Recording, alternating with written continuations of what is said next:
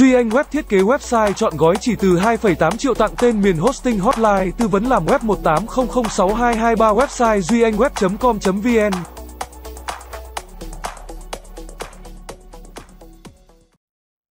Điều bệnh nhân tim mạch cần làm trong đại dịch COVID-19, tiến sĩ bác sĩ Trần Thị Hải Hà, trưởng khoa tim mạch bệnh viện Hữu Nghị cho biết những người mắc bệnh tim có xu hướng mắc các bệnh tiềm ẩn khác như tăng huyết áp, tăng cholesterol, đái tháo đường và bệnh phổi. Những căn bệnh này làm suy yếu hệ thống phòng vệ sức khỏe của cơ thể, bao gồm cả hệ thống miễn dịch chống lại nhiễm virus. Nếu người mắc bệnh tim mà bị sốt hoặc bị viêm phổi do COVID-19 sẽ gây thêm căng thẳng cho trái tim. Thêm vào đó, tình trạng viêm do nhiễm trùng có thể làm hỏng niêm mạc mạch máu, chính vì vậy, bệnh nhân có bệnh lý về tim mạch cần bảo vệ sức khỏe, tăng sức đề kháng bằng chế độ dinh dưỡng và tập luyện hợp lý.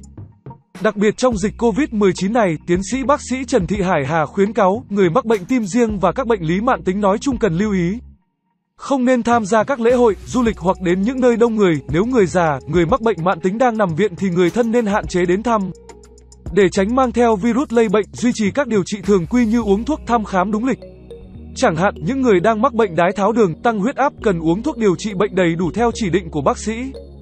Tránh xa các nguồn lây nhiễm bệnh, những người có triệu chứng ho, sốt tiến sĩ, Hải Hà cũng tư vấn người dân cần thực hiện các biện pháp phòng chống dịch bệnh theo khuyến cáo của ngành y tế như đeo khẩu trang.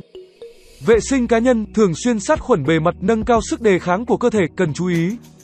Một tập thể dục thường xuyên, những bài tập thể dục nhẹ nhàng, ví dụ như đi bộ nhanh, cũng giúp kích thích các tế bào bạch cầu hoạt động tốt hơn. Giải phóng hormone endorphin có khả năng giảm đau, giảm căng thẳng và ngủ ngon hơn, từ đó cải thiện khả năng miễn dịch. Khi đi tập cần thực hiện những biện pháp phòng dịch bệnh được Bộ Y tế khuyến cáo như đeo khẩu trang. Vệ sinh cá nhân, hai ăn uống lành mạnh, dinh dưỡng hợp lý đóng vai trò quan trọng giúp hệ miễn dịch và sức đề kháng hoạt động tốt. Bên cạnh rau củ và trái cây giàu vitamin cũng như chất chống oxy hóa tỏi và một số loại nấm cũng có công dụng kháng sinh. Duy Anh Web liên tục khai giảng khóa học bán hàng online đa kênh 4.0 cầm tay chỉ việc một kèm một hotline tư vấn khóa học 18006223 website duyanhweb.edu.vn Tăng cường sức đề kháng, cụ thể, 15 loại thực phẩm giúp tăng cường sức đề kháng tiêu biểu như Các loại quả nhà họ cam chanh, ớt chuông đỏ, bông cải xanh, tỏi, gừng, cải bó xôi, hạnh nhân. Nghệ, trà xanh, đu đủ, kiwi, da cầm, hạt hướng dương. 3. Ngủ đủ giấc ngủ giúp ngăn chặn các tế bào khỏi bị tổn hại và suy yếu.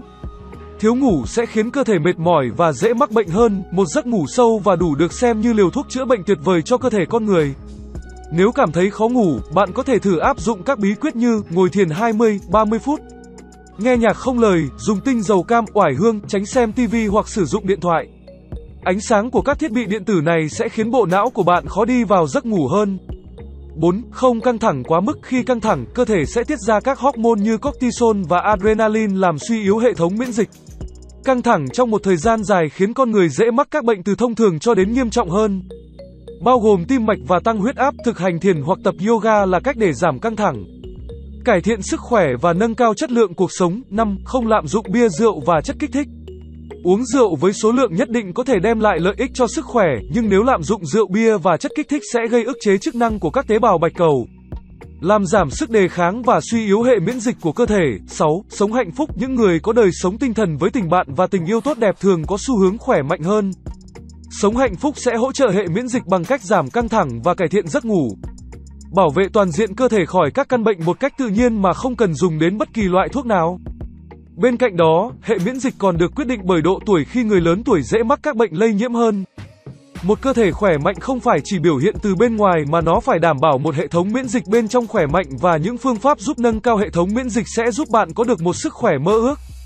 Quan tâm đến hệ miễn dịch chẳng những giúp bạn hạn chế nhiễm dịch bệnh mà còn kéo dài tuổi thọ.